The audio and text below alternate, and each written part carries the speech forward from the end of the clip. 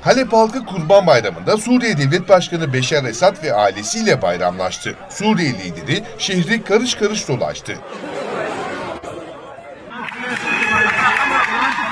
Suriye'de 2011'de başlayan emperyalist müdahalenin ardından savaşı kazanan devlet başkanı Beşar Esad 11 yıl sonra ilk kez Halep'e gitti.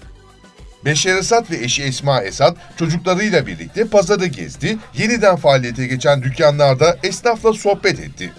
Halep sakinleri kenti ziyaret eden devlet başkanına yoğun ilgi gösterdi.